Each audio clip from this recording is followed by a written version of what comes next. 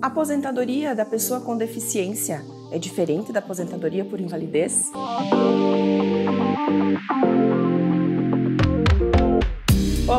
Eu sou a Fabiola, advogada, e vim aqui trazer para vocês informações e dicas sobre o direito previdenciário e trabalhista. E hoje nós vamos falar sobre as diferenças entre aposentadoria por invalidez e aposentadoria da pessoa com deficiência. A aposentadoria por invalidez é aquela em que a pessoa adquire uma incapacidade para o trabalho no curso do, da vida laborativa, ou seja, ela já está ingressa no sistema do INSS, já está trabalhando, contribuindo, pagando e acaba por ficar incapacitada para o trabalho de forma permanente.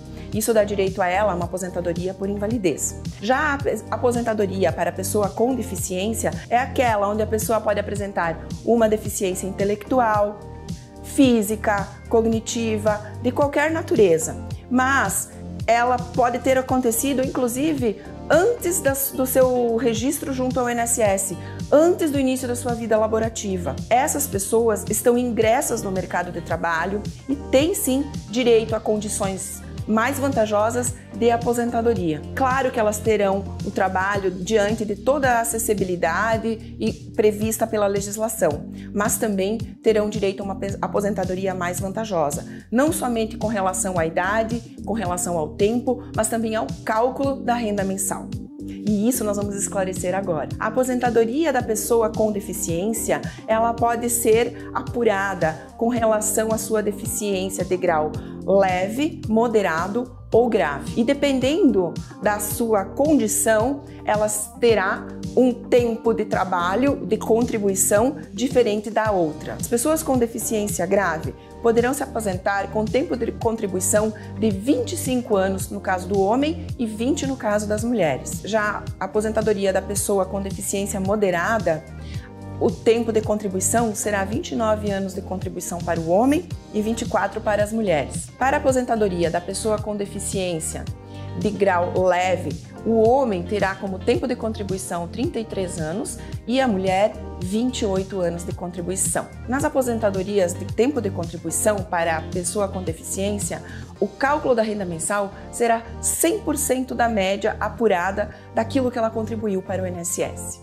Mas existe também a possibilidade da pessoa com deficiência se aposentar por idade e ela terá uma redução na idade se optar por esse tipo de benefício. Na aposentadoria por idade para a pessoa com deficiência, ela precisa comprovar que pagou 15 anos de contribuições para o INSS. Somando-se cada mês, deverão dar o total de 15 anos, ou seja, 180 contribuições, tanto para o homem quanto para a mulher. Já a idade para o homem é 60 anos e para a mulher 55 anos, para então poder se aposentar por idade.